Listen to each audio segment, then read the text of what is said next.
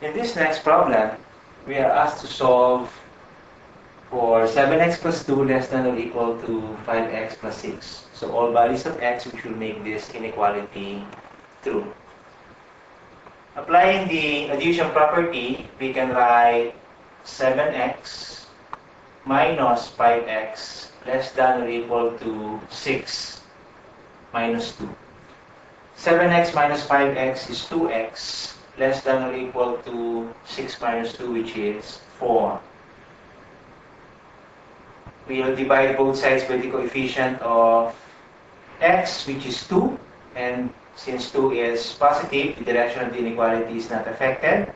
So we have x less than or equal to 4 divided by 2 or 2.